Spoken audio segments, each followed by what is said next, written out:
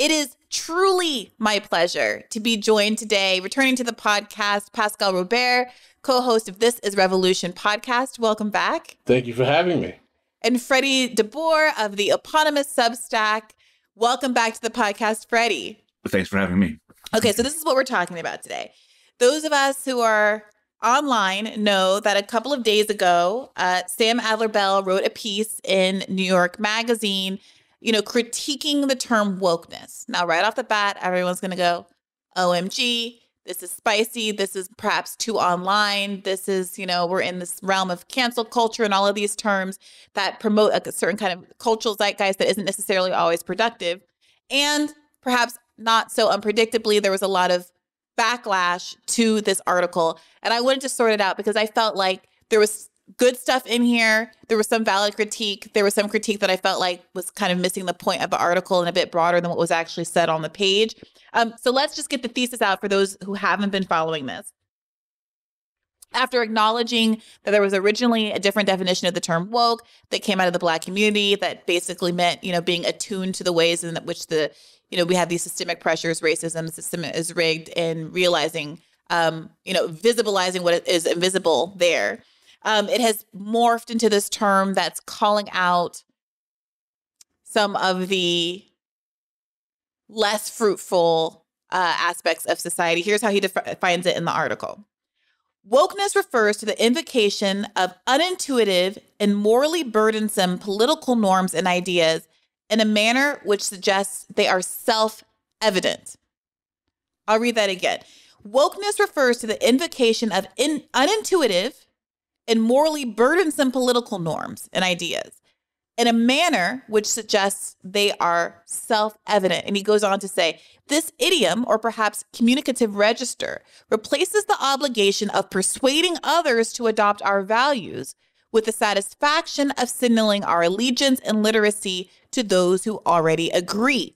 In some cases, this means we speak in an insular language that alienates those who haven't stewed in the same activist cultural milieu. At other times, it means we express fealty to a novel or unintuitive norm, while suggesting that anyone who doesn't already agree with it is a bad person.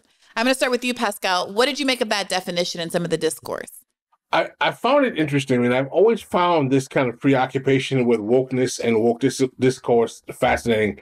To disclose, I wrote an article on wokeness called "The Great Awakening," how the and the ruling class used for racial grievance discourse. For me, I look at wokeness as a use or weaponization, particularly in the context of black communities, of racial grievance discourse. Now, am I a person who believes that there aren't legitimate grievances that black people have? Of course there are. But I, my position when it comes to this type of discourse, whether it be wokeness or whether it be woke racial grievance discourse, is that this is an elite project. What does that mean? That means that working class black people who are worried about getting union jobs, whether they be at Amazon or anyone else, are not worried about wokeness or woke discourse. Mm. Woke discourse is a posture of, even when it started within black spaces, it was a posture and discourse of generally college educated or college proximate black people who are proximate also to the same type of liberal foundations and foundation largesse that create the echo chamber of ideology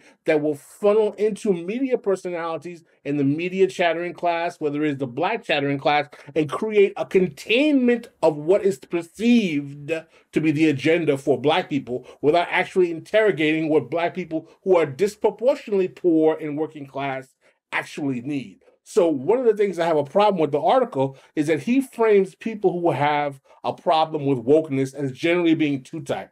Conservatives who basically do not want to expand the way in which grievance is is addressed in American society, and the popularists. I think he's referring to David Shor's idea of popularism that if we keep using this kind of language, it's going to scare away the normies or the mm. white people, if you will. My argument is there's actually a, a series of people on the left, particularly even the black radical left, who hate this wokeness crap as well because we realize it does not challenge the way in which capitalism and its materialist consequences for poor and working class black people are felt in this society, and it's a petite bourgeois black elite discourse from the get go.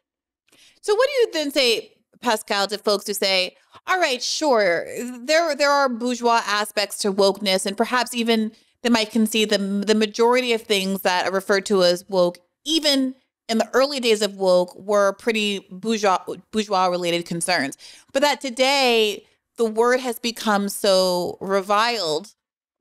By a lot of different political factions, that it's getting applied to things that are legitimate and substantive um, and that there's some danger in leaning into the idea that you know woke is bad. Well, I I I will absolutely concede that there is there is always a reactionary penchant in American media to try to find ways to delegitimize concerns concerns of otherized communities. These people complain too much. We everything is fine in America. Racism is gone. What's the problem? You don't like capitalism? What's wrong with you? There's always a there's always a, a, a trenchant means of people who are always trying to delegitimize those who want to make society a much more fair in terms of its distribution of resources overall. So mm. I agree that those people are always going to be on the hunt to find a way to discredit people who are, you know, whether you want to call them social justice warriors or not,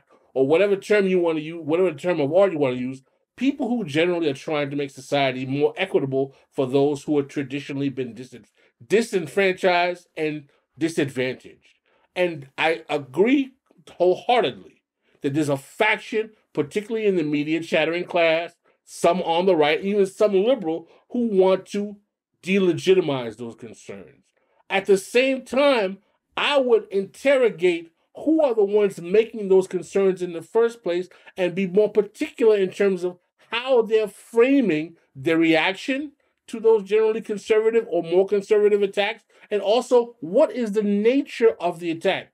Is the nature of the attack on the substantive actual complaint that is being broached by those communities, or the way they're framing it? Oh, here we go with the way this flowery kind of discourse I mean, there are ways you can talk about phenomenon that, frankly, you you can just it becomes pedantic to the point where people are like, I'm so tired of hearing about this. Mm. My God, man, how many times are you gonna bring this up?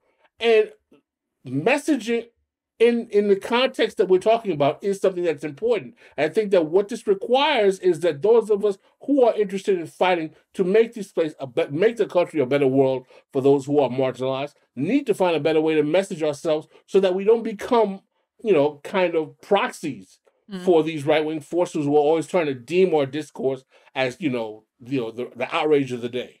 Now, some people read this article and there was a lot of there were a lot of tweets and threads about the idea that Sam Adler Bell's critique of the messaging was really a way to say, look, talking in woke terms, as it were, isn't popular. It derails a broader working class movement. And therefore, what Sam Adler Bell is really saying is to throw the concerns of marginalized groups under the bus. This is just another white leftist man who is revealing his true um you know like his his deep-seated like lack of commitment to the people who are part of this broad coalition that he says he wants to put together. But really it's really a, a class reductionist agenda that is indifferent to the specific needs of, of individual groups. Freddie what did you make of that critique? Well i th- i think like i would answer that first by just like we should get really cynical and and thinking about like the place of this particular essay in the media environment. Okay, mm. because um, I heard from several people whose response was, you know, the core of this essay is strong, and he could have avoided all the controversy if he just had not used the word woke. There's another approach to taking to this article where you don't use woke as your target, where you mm. talk about an unfortunate element of, I mean, because, you know, as you said in that definition, he's reacted to something that, something that I find quite annoying, which is like the effective stance in a lot of these social justice split spaces that like everyone is already supposed to know everything, mm-hmm. right? Like it should all be self evident to you. And you can write about that without using the word woke, right? But I, I would say to anyone like that, you have to understand like the piece probably doesn't get run mm-hmm. by New York Magazine if it does not have the inflammatory term woke, right? In other words, mm. I'm sure for Sam Adler Bell, it was unpleasant to go through the backlash to this. But that was the market calculation for the editors at New York Mag. They said this is exactly the kind of piece that people hate read, scream about on Twitter, and then and through that gets tons of views, which is exactly what happened, right?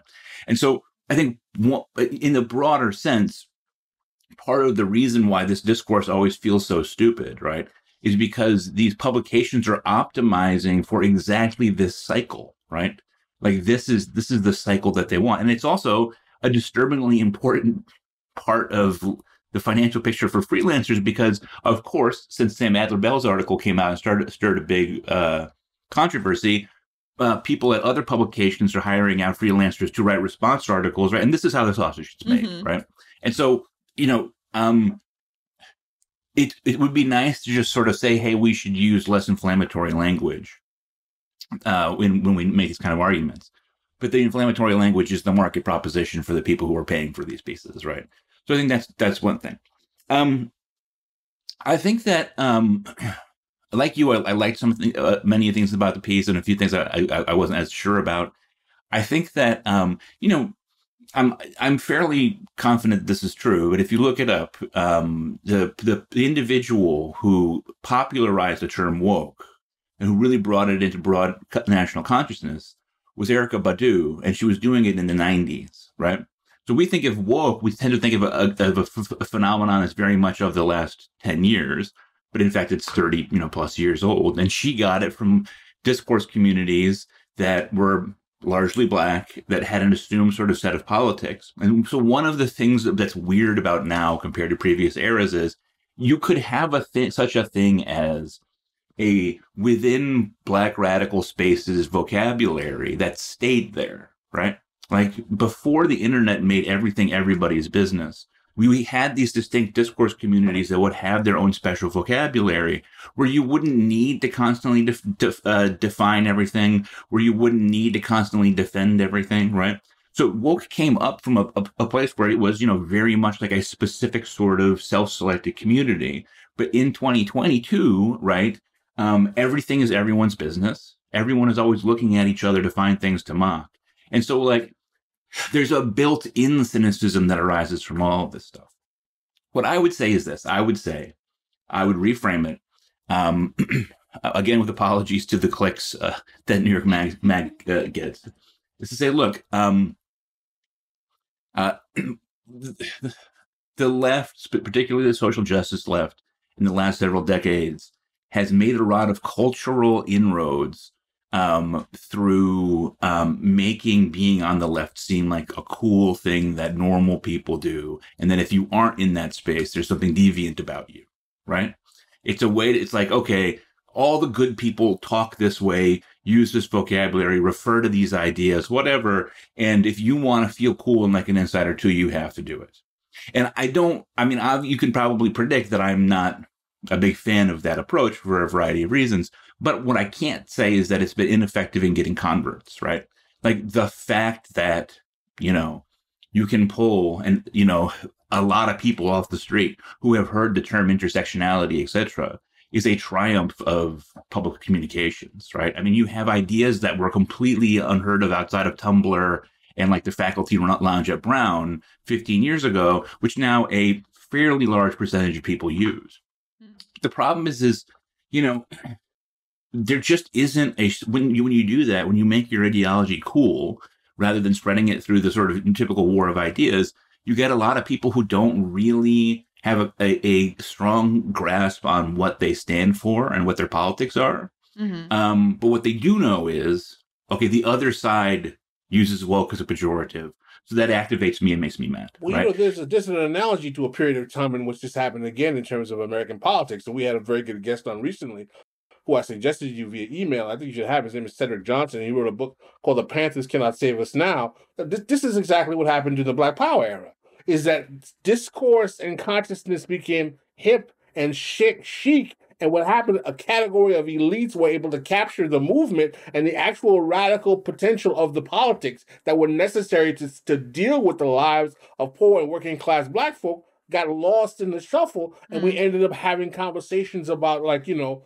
these abstract ideas and notions. So I'm not necessarily going to say that we're going to make a metaphor between what comes out of intersectionality and the Black Power era, but what I'm saying is that I don't necessarily think that it's good that people are now using terms like intersectionality or critical race theory because I'm old enough to remember when I was studying them in law school and wondering wondering what is valuable about this now. What mm. exactly have black people got out of critical race theory and intersectionality in 40 years that makes it so it, the, crucial to the quality of life for the majority of black people? It's it's basically a liberal idea of black thought, and most of post civil rights black thought is liberal in that it's about diversity, equity, and inclusion into a capitalist system where the pie is shrinking. So you're basically arguing for the smaller number of shares on the Titanic. And you yeah, also, so yeah, sorry. go ahead, Freddie. No, and but you also have this weird thing where like, um, if we talk about like woke, there's this always constant accusation. Oh, you're talking about black people in a coded way, um, and, and people do do that. I think that there are conservatives who just use woke as a way that they can say refer to black people pejoratively while denying that they're doing it. But it's a very weird thing when you think about it because black people are 12.5% of the population, right? And um, the vast majority of people who were trafficking in the in these ideas in academia, in media, you know, in nonprofits are white people, right? And I think it's one of these many ways in which, like, if you're a white person, you see an essay that criticizes woke and you kick up this Sturm and Drang, I think there's just a lot of tools that sophisticated college educated white people have done to sort of um, borrow offense on behalf of black people or on behalf of women or whoever um, and it's just it's just it's just weird. Like if you were to go on Twitter and count up all the tweets, I guarantee you the dominant majority of people complaining about the essay were white, but it's all done under the guise of like a theoretical black person who's being right. insulted. Well, right. part of this, you you actually addressed this in your essay, uh, Freddie, which I found. You talked about what an academia they call standpoint epistemology or standpoint theory, which is the position or the idea that a, a woman, a black person, a Latino is better adept to understand the politics, worldview, and notion of person X, Y, and Z because they're from that standpoint. I think the best example of kind of the bankruptcy of standpoint epistemology, epistemology or standpoint theory is Clarence, Clarence Thomas. Mm. I was like, how well is he is a perfect example of understanding what the experience of black person because all of this is premised on a flat, essentialized notion of racial authenticity. And one of the things that the people on, on the left that I respect, people like my mentor Bruce Dixon, always tried to fought, fight against what was concept of of flat, essentialized notions of racial authenticity. And one of the problems I have with so many of these ideas, whether it be CRT, intersectionality, so on and so forth, is that you find white liberals who are parroting black elites who yeah. are benefiting and profiting off of essentialized notions of black identity because it gives them authority, it gives them standpoint epistemolo- epistemological credit to get tenure, to get writing engagements, to get speaking engagements, to get foundation grants, and they leverage that to maintain their, their position, and they don't want to shake that up. This is an elite hustle from top to bottom. It so, always has been, and it's not a new hustle. So I agree with both of you in all of this. I love this. This is so rich. But let me steelman this and be the lib for a second. For sure, the critique of intersectionality is so valid.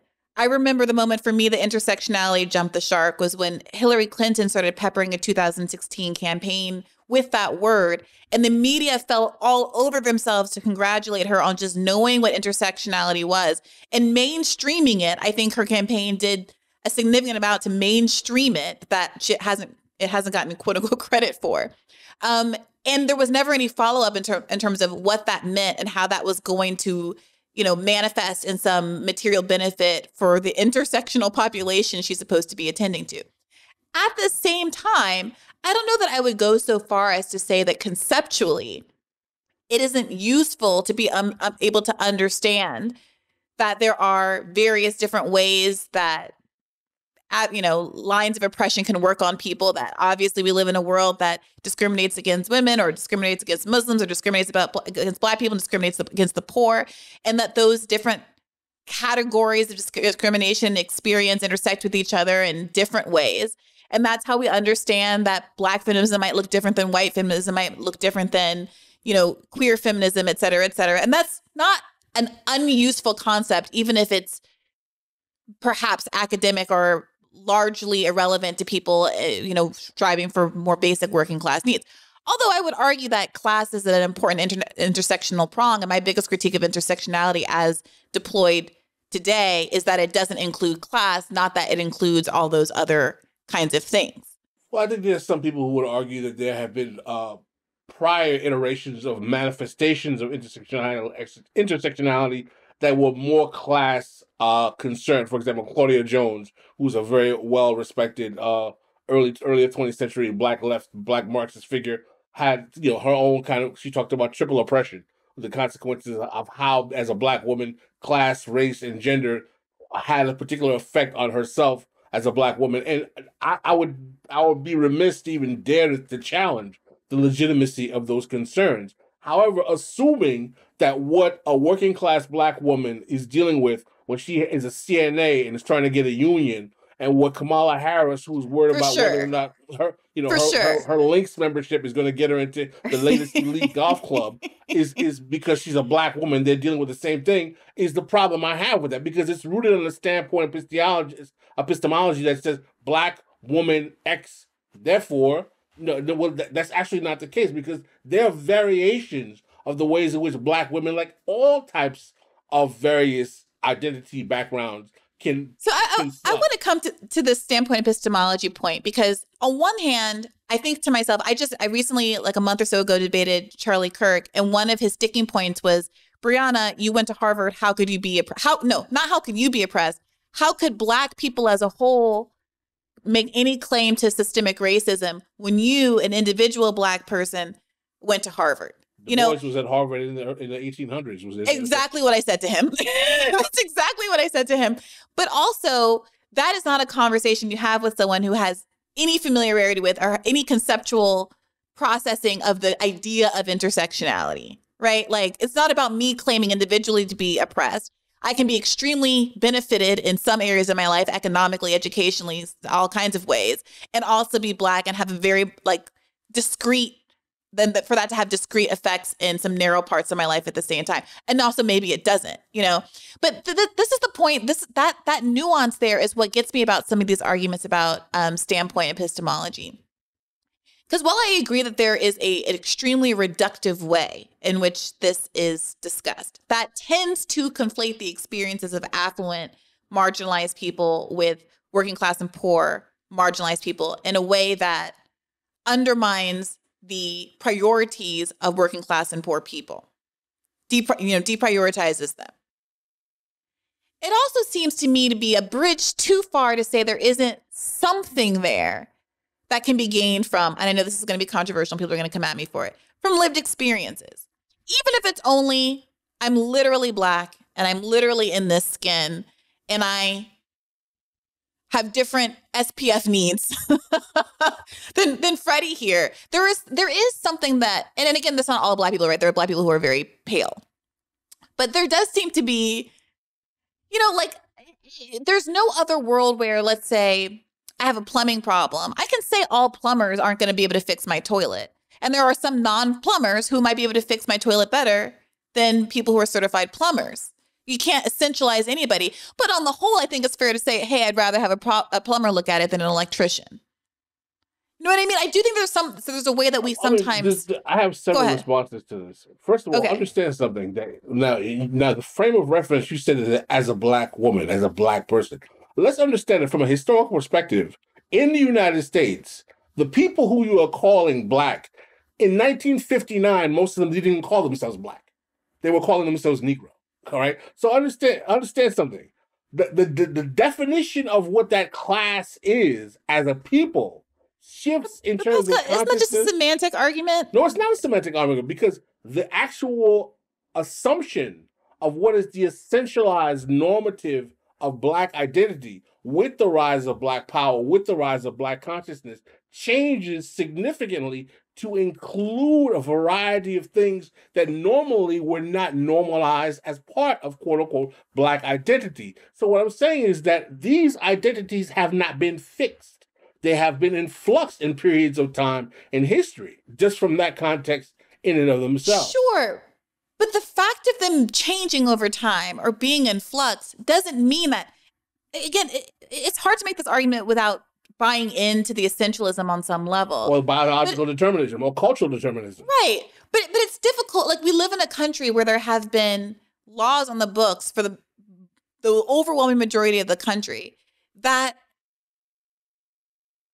recognize imprecisely, racistly, wrongly, but make some attempt to codify this idea of race and did so in a way that they effectively implemented it and you know excluded black people from living in certain neighborhoods you know literally enslaved black people for hundreds of years. All of these things happened. And so us kind of sitting here and saying well race you know these categories aren't real oh. belies you know kind of belies our li- our sorry our lived our, the lived experience of the thing. My position is not to say that blackness does not exist or black identity is not a thing or that there are not black people. That's what i'm saying is that the extent to which we assume that there is a one authentic defined blackness lends to a position where you're basically giving it a biological credence that it doesn't deserve, particularly in the realization that there is no one unified black voice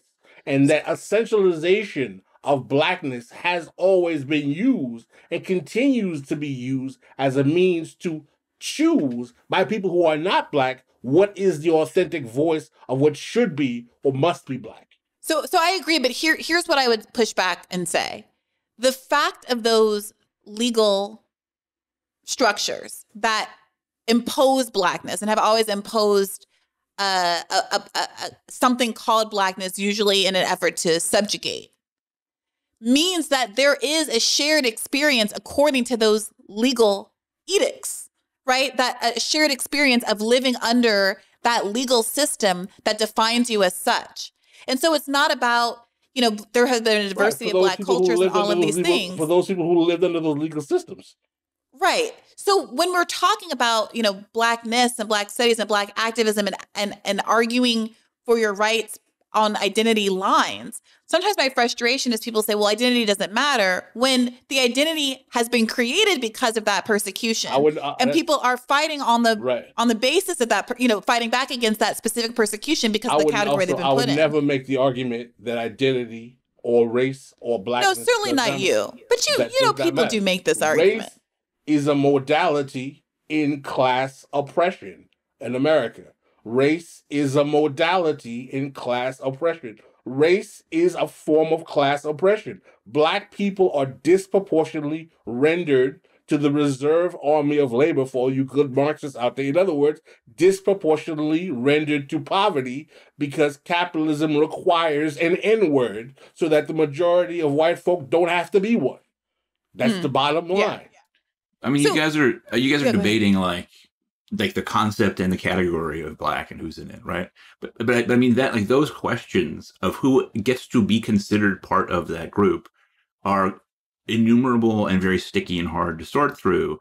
And um, you know, there is simultaneously a discourse of like you you you don't race police someone just because that person's very light skinned that doesn't make them not black. Just because that person, you know, like there's a sense that everybody should be part of it. But there are practical considerations about what we mean when we when we work with race from a societal level that are never going to just go away. So you mentioned Harvard before, right? Mm-hmm. Um, these schools keep this specific data very close to the vest for obvious reasons. It's widely understood that a very common practice in elite universities is to use, uh, you know, uh, minority representation slots, diversity slots, um, simply to cream off the richest students from those groups. Okay, so yeah. um, a very common thing for an Ivy League school to do will be to seek out, um, you know, uh, the, the, president of Liberia's son. Exactly, or uh, you know, I went to college with. You know, I mean, like so. For example, Nigerian, uh, it's it's always neck and neck with Indians, but Nigerian Americans are maybe the first or second or third richest um, ethnic group in the United States, right? Um, and so they'll go looking for the kid of a, a top Nigerian American surgeon. Um, they're not supposed to use international students in their diversity slots, but they, they do them all the time. Do it all the time. There's all kinds of ways that they have to get around it. And so um, when you look at the people who actually are being represented, right? You are you, you're getting an awful lot of black one percenters. You're getting an awful lot of people whose families have come to the country in the last 10 or 20 years. And look, like, I think it's great if there are more, you know, black faces at Harvard, but the point of race based affirmative action to me is to address injustice by helping out the, you know, American born descendants of African slaves, right? Like that's a very specific kind of a population. And you if you no go, argu- you'll get no argument from me. My friends and I often discuss that out of the 160 or so black kids in our class, right, we counted 10 of us that were black American. right. And so you have to like, for me, that the, the program is just not fulfilling its mandate. If it means the difference between a kid, you know, going to, uh, Amherst now gets into Harvard, if if that person is getting lifted out of that by that diversity slot, then that's you know to, to me it's undermining the reason to well, do. my argument would be that I don't disagree with that at all. But the thing is that have you looked at the demographics of the kids who were Black American who were going to those schools in the first place? They weren't exactly the brothers and sisters I knew in South Jamaica, Queens, who were exactly going to those elite schools, Correct. even though It's they were me. graduating, even though they were graduating from the top of their high schools that were public schools either. Yeah. But with, with yeah. the institutions would like for everyone to think that they are reaching into ghettos and pulling diamonds in the rough out, right? And so it's a way both, that, you know, they want these kids with rich parents because rich parents donate, and this is also a way for them to burnish their credentials as a as a good. So, and so I'm just picking that as one example of a situation where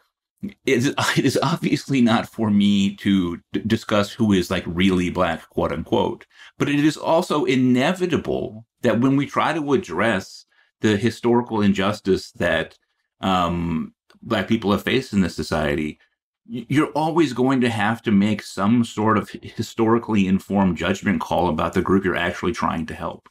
I have no problem with that. I, I think that makes absolute sense. I would also make the argument that if you're actually trying to improve the conditions of the majority of black people, and if you think talking about Harvard admission is the way to do that, you are a long way away from addressing the needs of the majority of black people. And the fact that we have to use that as a modicum of what needs to be done for the majority of black people when less than 24% of black people even finish three years of three, three years of college is kind of a sad indication of how the discourse in itself is framed. I, I agree with all of that. I will say that, that we started this conversation. We got here kind of talking about how to tell who's what and is, you know, what is black, you know, what is does it mean to be black? And I would argue that despite everything that you said, uh, Freddie, my objection to the current policy is because I do have a very clear sense of who counts and it's not being captured by the admissions criteria. But um, perhaps we should pull this a little bit back to the Sam Adler Bell article and this question of wokeness. Earlier, Freddie, you said that you think that the main issue with the article and much of the negative backlash was about the word woke. And I certainly think that's a, a good point, and I agree with it largely.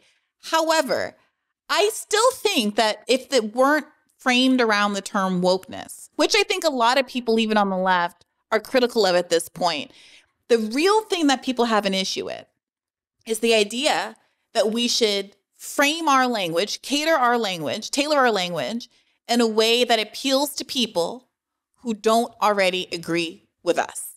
To me, that was the most controversial thing about the article because I personally will say I've gotten a lot of similar heat for suggesting that I try to frame arguments in a way that can actually be heard by a conservative voter, God forbid, a Trump voter.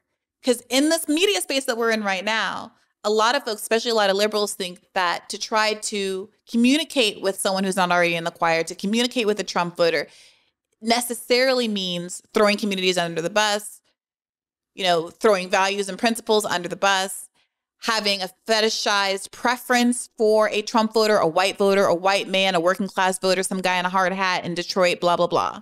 this is a problem. This is a problem that I'm finding. I wrote a piece for Newsweek talking about basically introduction introducing people to the concept of the black political class and how we have basically an elite an elite capture of black politics. I'm sure you're familiar with the concept, Briahna. We talked about it before on the show. Mm-hmm. And one of the things that I said, I said that what we need is a black working class politics in which working class black people can work with working class white, Latino, and other communities and find a politics rooted in their material condition where they do not have to have these mediators negotiating their their their their position. Everyone loved the article until Mhm. that point. Once I suggested that there was a potential that one of the things the suggestion was to have cross cross racial coalitions of black people working with other of anyone to address anyone, I was bombarded with, oh, that's ridiculous. That's never going to happen. Even though there has never been a time in American history where an economic or racial advance that black people have benefited from did not require some kind of multiracial or cross-racial alliance. Yet, yet people who are younger than me, who literally don't even remember the 70s, are arguing that, oh, interracial coalitions could never work. What are you talking about? Yeah, I, I think that's right. And you get this a lot when people talk about, oh, Scandinavian social programs are great. A lot of the line that you get is that's just not possible in America because there's no, because we are diverse. And it is fundamentally, it's like this reverse, I'm not going to call it reverse racism, but there's this weird um, resistance, an argument that sounds very much like the right wing argument that America's diversity is exactly why we can never have nice things. The right is arguing it, the left, parts of the left, liberals are arguing it. And the belief that liberals have is that the only reason, the only way that liberalism is going to prevail is through demographic change. There's this, you know, belief that immigration is destiny and that Latinos are gonna, gonna all magically want to be Democrats forever and always, no matter what Democrats have on offer. And when I recently made this case in a radar where I was trying to explain to a conservative, a more conservative audience at the Hill, why liberals and leftists believe Tucker Carlson to be racist and to explain what a dog whistle is without saying the word dog whistle, which a lot of people don't actually know and understand. People lost their minds. And even liberals couldn't understand that as anything other than me saying what Tucker Carlson does is good. The act of communication itself, speaking in terms that don't presume knowledge, don't presume that people know what a dog whistle is, don't presume people see the world the same way that I do, was taken as a tacit endorsement of the underlying rhetoric that I was pretty obviously critiquing insofar as I was, you know, comparing it to Mein Kampf. and and and to me, like, I don't know, it strikes me that that is what is very accurate about uh, Sam Adler Bell's definition that there's this resistance to speaking to someone who doesn't already agree to you, and almost like it's a tell. There's a belief that to even care to communicate to anyone who doesn't agree with you means you must not really be down for the cause. But I, but I think like like so much else in my picture of the contemporary United States, I just think people have given up. Right? I mean, I think I think there's just a widespread belief that things can't get better. I mean, I you, can you can you can chop this up into into several different um, groups. I mean, there is you know the tradition of Afro pessimism, which has become uh, quite popular in certain places. Um, but, there, but there's also you know I know a lot of people who became Bernie leftists. is a very, very that, that scared when people say that, that's that's an idea idea that comes out of academia that was plastered into black politics because of certain media personalities and black chattering class personalities that has had a toxic, toxic effect on black social and political. You can say you can just say ta- Ta-Nehisi Coates, Pascal. um, um, but, but but again, like there's also like yeah, so there's there's that tradition. There's um there's the whole sort of irony boy, little nothing matters thing that is very prevalent right now. I know a lot of people who sort of became Bernie leftists or even Occupy leftists in 2011 or 2016, and the the two Bernie failed presidential nomination campaigns sort of su- sort of sucked out their sense that, that that good change can happen. And I think that this that this connects with the language issue, right? Like I agree with Sam Adler Bell that like the way that we talk to people is very important, and we're not doing a very good job of it right now. But I also think that like you you you fixate on language when you can't change material reality, right? Mm. And so part of the reason people are so resistant to saying, okay, I'm gonna I'm gonna tailor my arguments to to fit more people who don't necessarily agree with me now is because they just like if I can't win anyway, at least let my language be pure, right? And there's always this instinct like that. I mean, so so I um have been in New York, involved in New York City uh housing activism, tenants' rights activism for like six years or whatever. And um one of the things that is constantly sort of bubbling around is um, there's a, a, set of people who want to stop calling homeless people homeless and to start calling them unhoused, right? Mhm. And I think calling them unhoused is a mistake because homeless is a very visceral term that has a deep meaning for people and it hits them. Mm. And people say, well, it's stigmatizing, but it's like, yeah, but the condition should be stigmatized, right? We want to use the power of stigma to help rescue people from the condition of homelessness. Whereas unhoused is this mealy mouthed, Passive. yeah, Sounds, yeah, it sounds, sounds temporary. yeah. It, it, it's just, it's, it's just a, like, it's just, but it's like, even beyond that, I'm like, you know, if they're sleeping under a bridge, who the what you know, what does it matter what you call them, right? But there is there's this. I mean, I just think that you know, the left is made up of people who were artists and thinkers and academics and writers and you know, uh, people who who have always sort of lived in language. And so when things seem so bleak, when the structural advantage that conservatism has in this country is so powerful, I think it's very tempting to just sort of like fall back into language as the one thing you can control. I think this is. I think you've made a very good point, Freddie. But also, this is a consequence of what happened in the '60s and going into the '70s, where the left creeped into academia as a result of the retrenchment blowback. We on our show, this is Revolution podcast, called the 50 plus year counter revolution, which is the reaction that the bipartisan American ruling class has to the 1960s and the new left, in that the politics of the country created counter revolution, starting with the rise of Nixon, the hard hat rebellion, you know, the move from the, the Bretton Woods standards and the economic change to neoliberalism.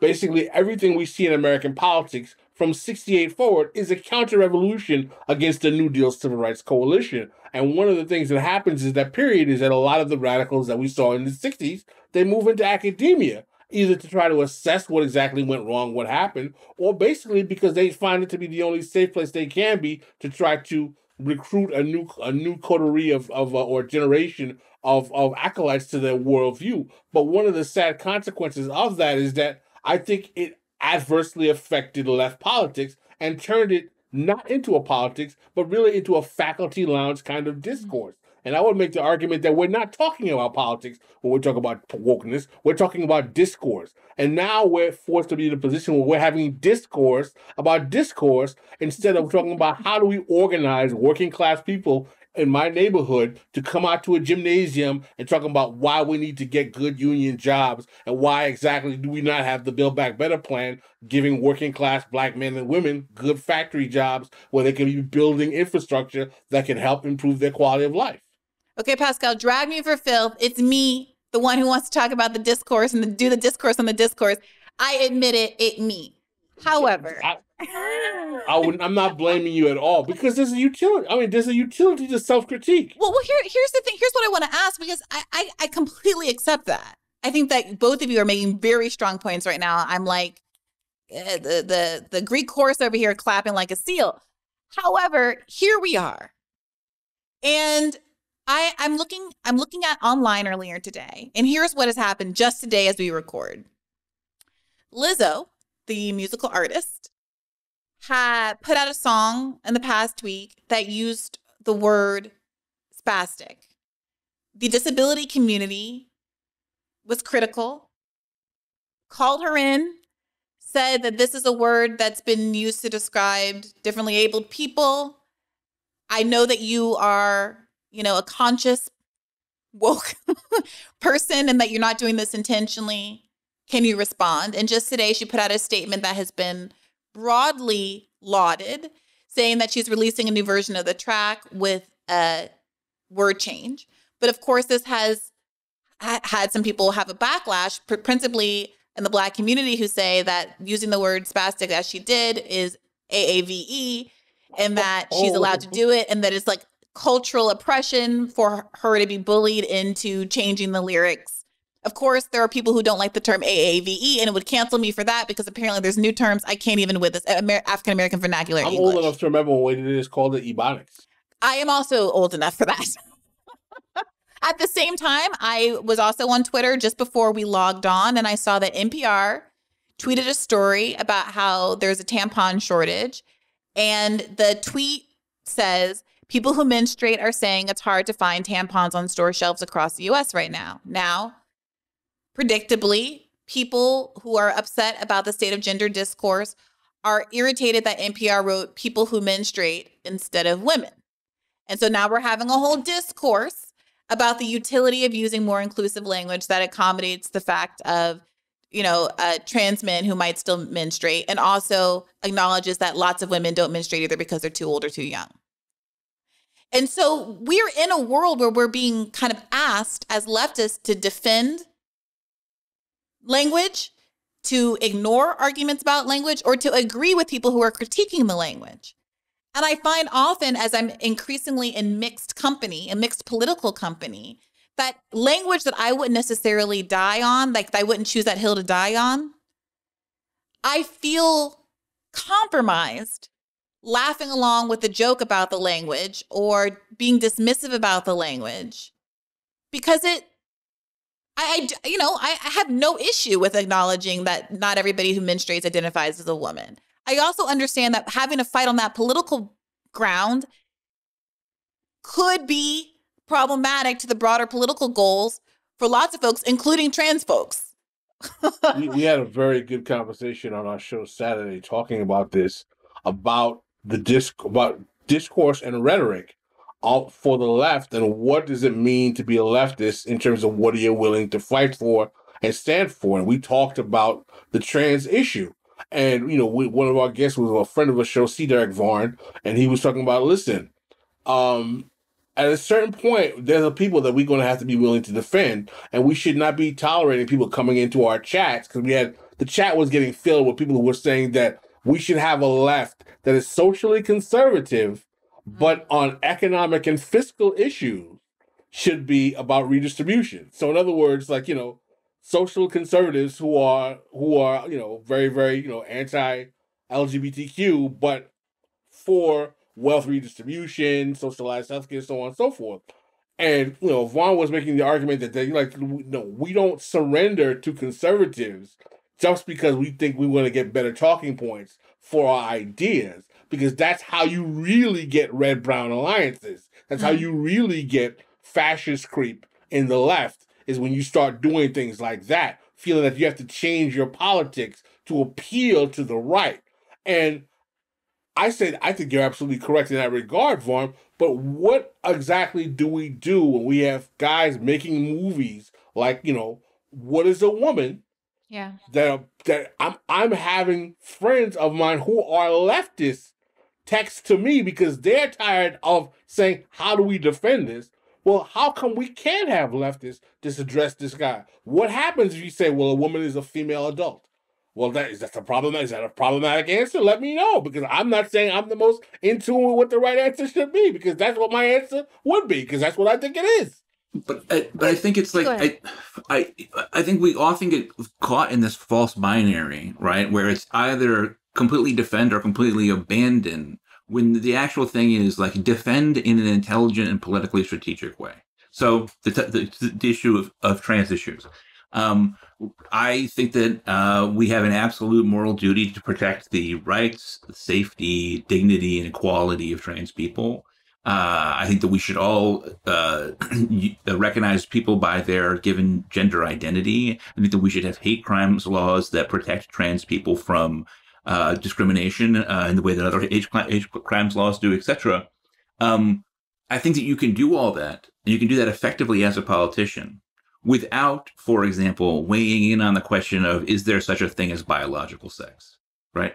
Like the is there a biological such a I mean, but are you is, not ultimately going to be forced to ask? I mean, like this is this has now become the gotcha. Every Republican in any debate, I bet you in a, the next presidential debate or any high profile congressional debate this fall, someone's going to ask the question, "What is a woman?" and it's going to be a shit show. But I, th- but see, here's the thing. I think that there's a way that you can do that, right? I think that you, you know, if you're a good politician, you can pivot and reframe the question in the way that a good politician can to say our purpose is for the protection, and respect, and dignity uh, and equal dignity of trans people. If it's 2024 and Pete Buttigieg is at a debate and they say Pete and he says there is no such thing as biological sex, you are going to lose a large chunk of this country. But right. My my concern, Freddie, is that even so so here here's what I really think about it.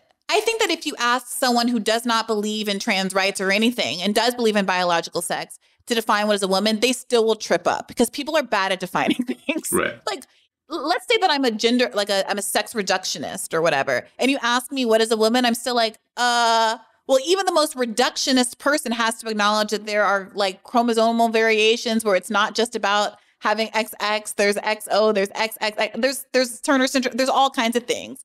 You have to acknowledge that there are intersex people, and I mean, there's a lot going on. Besides which, you can't use menstruation or any of those kinds of things because, as I said, some people don't for all kinds of reasons, including just basic age chronology.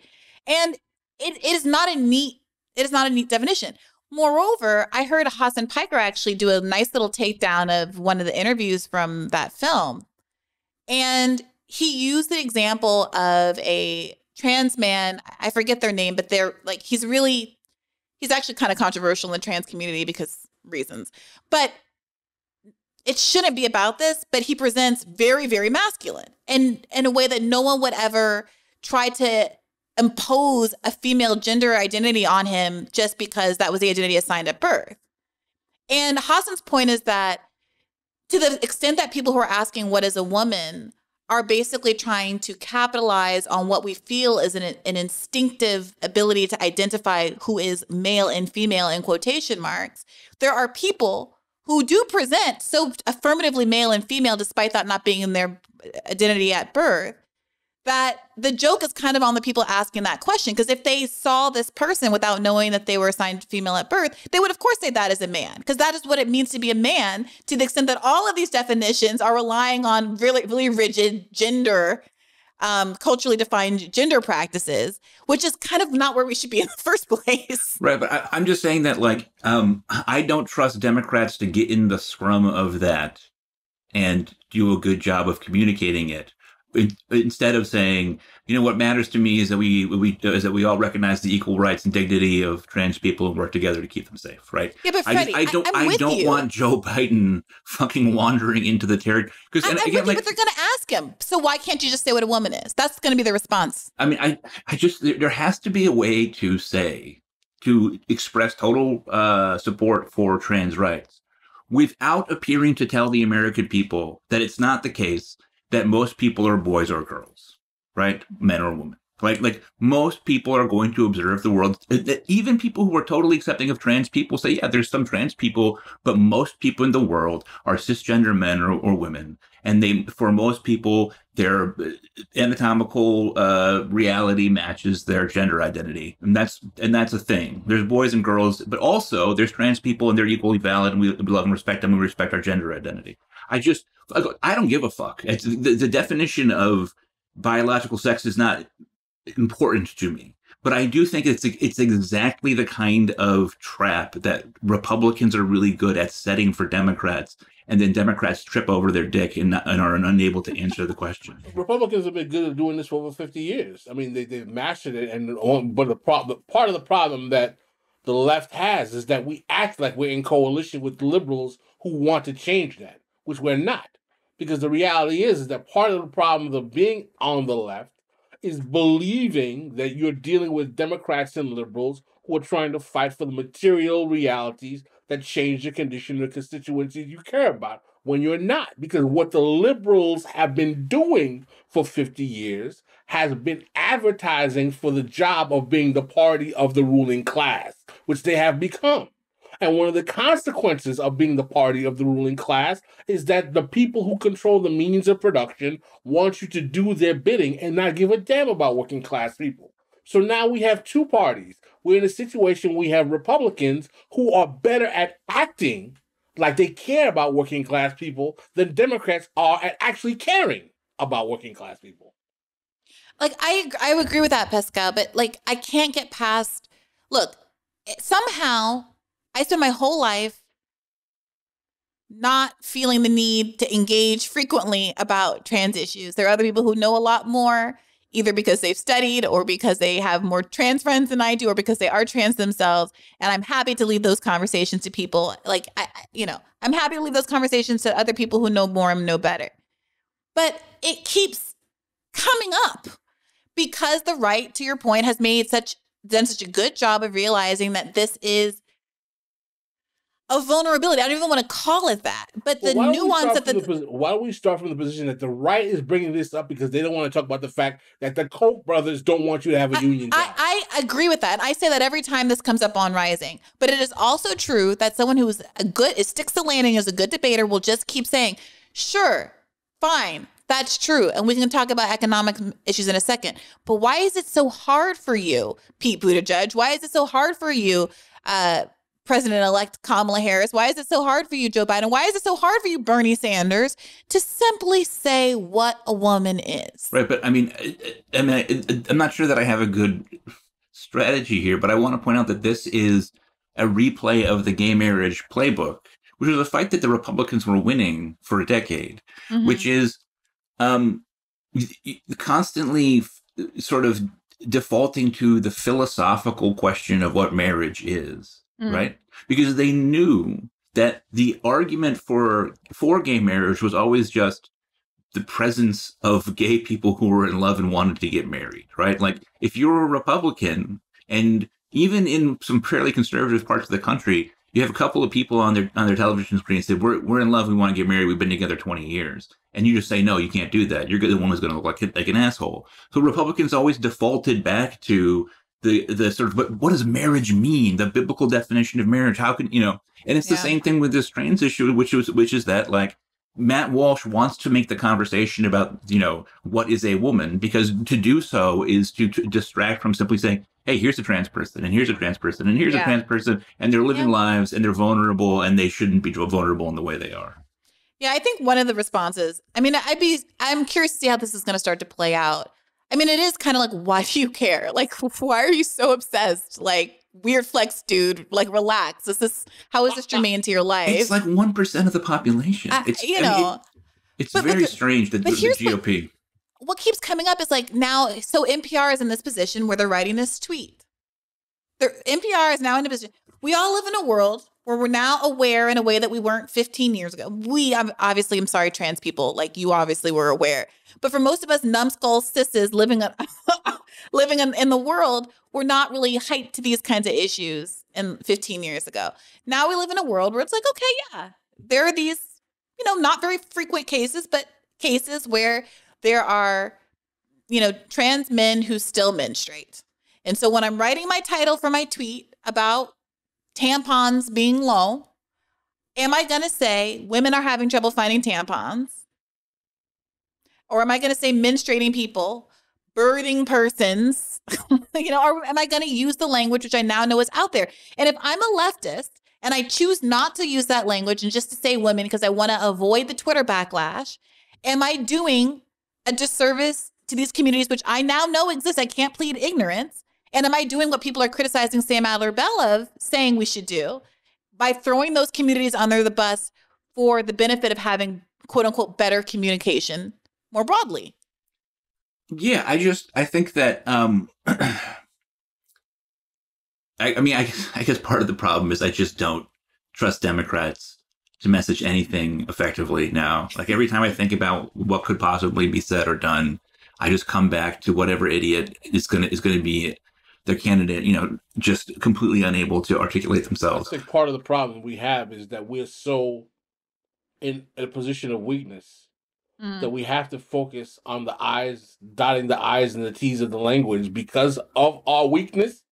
Yeah. That we don't com- we don't talk about how being a comrade means that you're you are not so unforgiving that maybe if I do get the language wrong, you don't come at me with a bazooka and say, "Oh my God, you're a transphobe because you didn't say menstruating person instead of." Well, Well, I think that's right, Pascal. I, I think that's right, but I think the flip of it is true. Like, if someone makes a mistake, if, you know, if, if some, if I'm talking to somebody's uncle and they say women, I'm not gonna correct them, and I and I feel morally right in in that. Like, I'm not gonna derail a conversation to be like, well, don't you know that sometimes some people that menstruate are, are don't identify as female? Okay.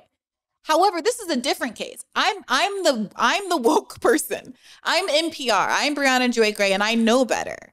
And the position that I now struggle with, you know, that I find myself in, is as someone who is being held out as a communicator, a good communicator.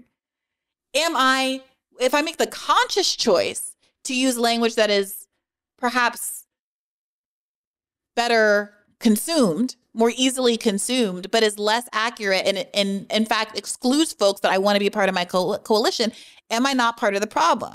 And if I am part of the problem, am I setting myself up for failure then by doing the right thing, but by in- incurring the Twitter hordes who are now mad at this stupid, you know, this innocuous NPR tweet? If you've come to the position where you that deep in the thought process, then you have then, then somehow I've it lost. resonates.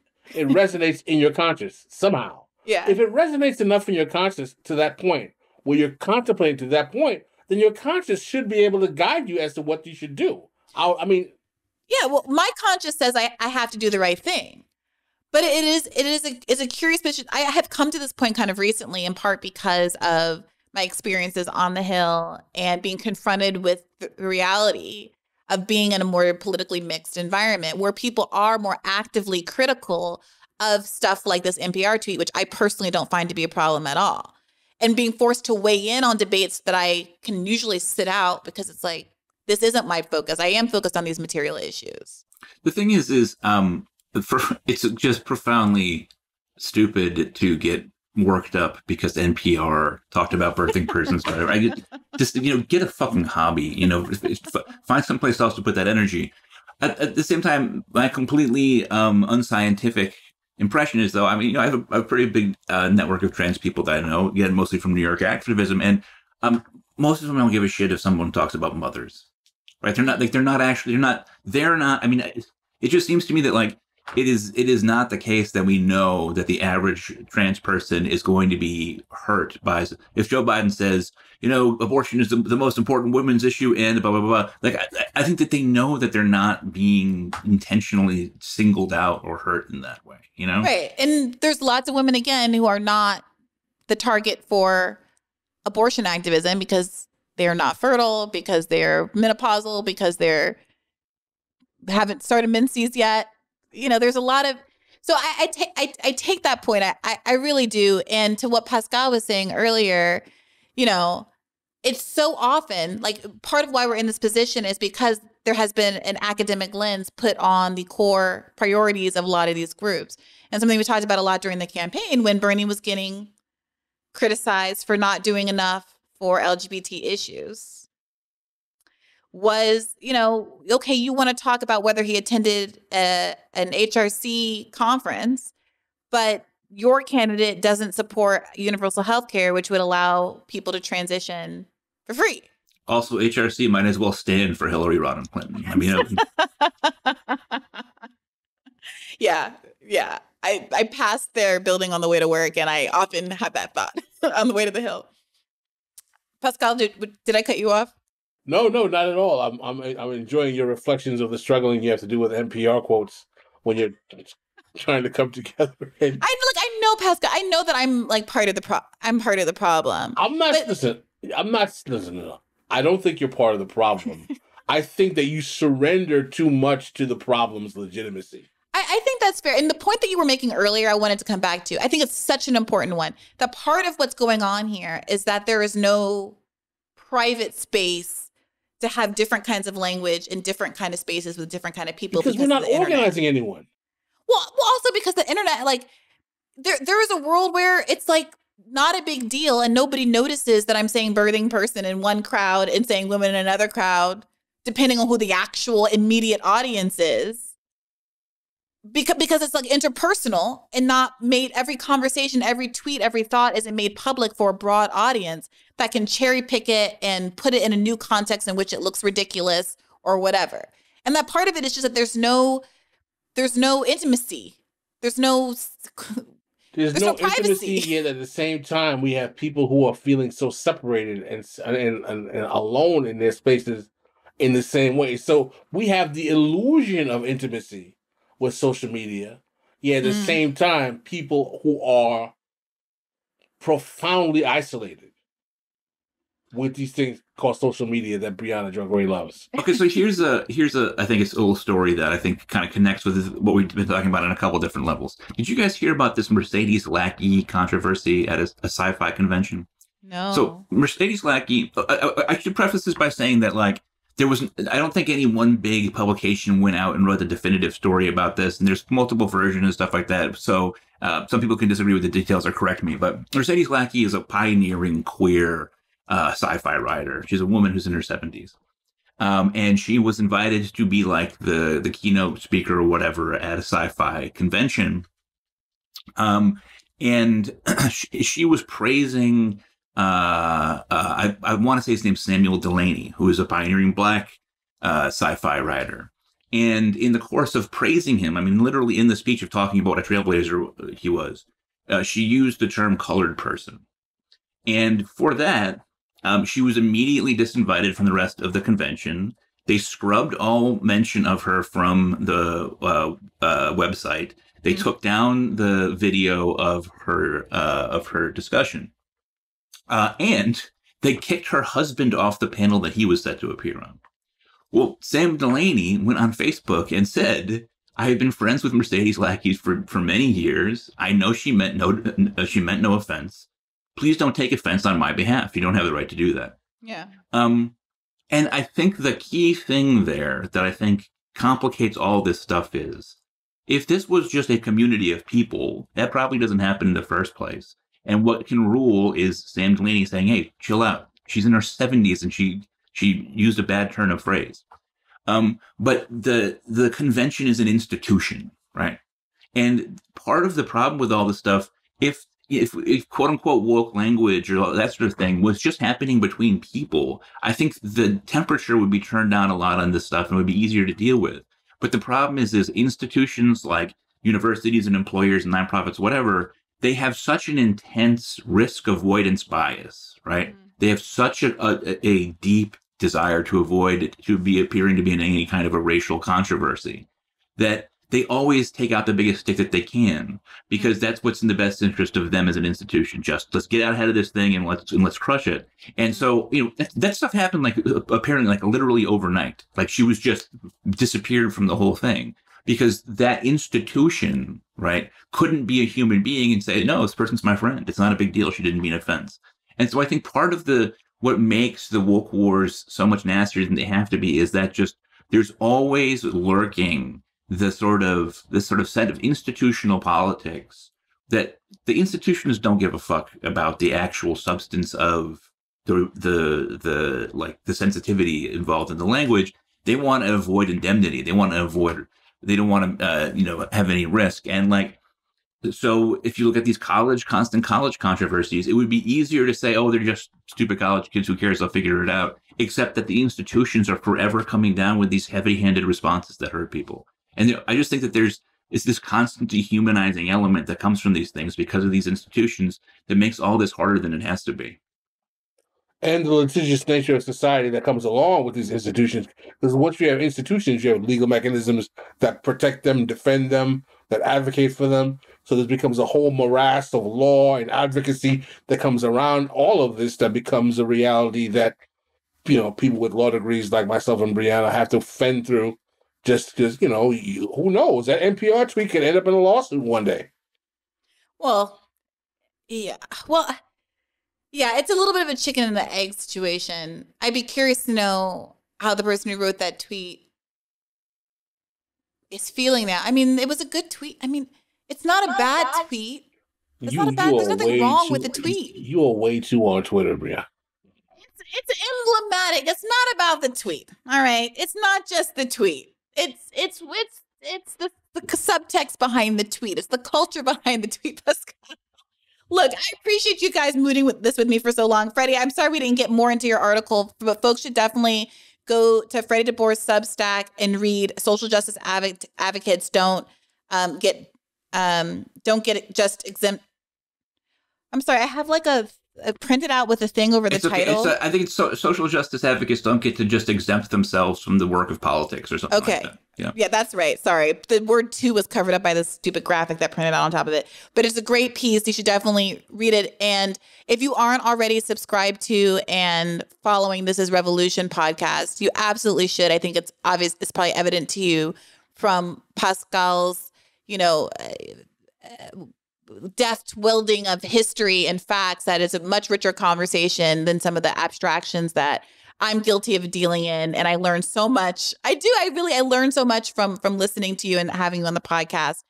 can each of you tell people where they can find the links to your work? Let's start with you, Pascal. This is Revolution Podcast at YouTube.